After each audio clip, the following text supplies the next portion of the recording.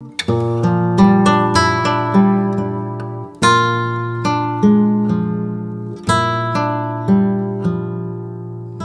you.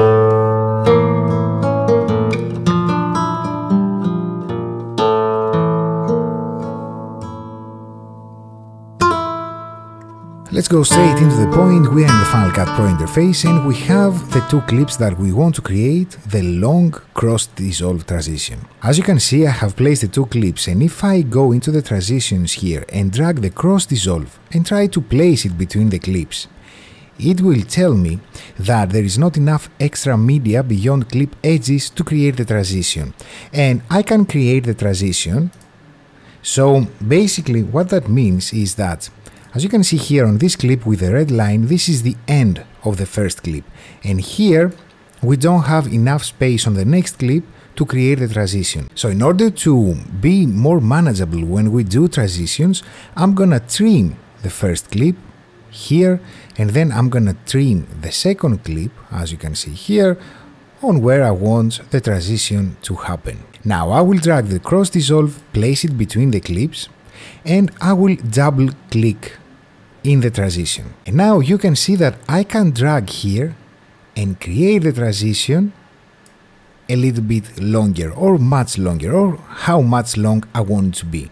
And then when I double click again, I can go here, adjust accordingly, and on the inspector panel, I can set the ease amount, how ease I want the transition to be, the fade in type and the fade out for the crossfade of the audio, and of course how I want the ease to be in, out, etc. So different settings, let's see that by default how it is. You see that it creates a slow, long cross dissolve that it's great if we want to create memories in your video, for example, reading the book and remembering how great it was or imagining how great it would be in the ocean. Now, if I select this, I can set the ease amount. Let's say I want an only in ease with 50 and check this out how it's gonna be.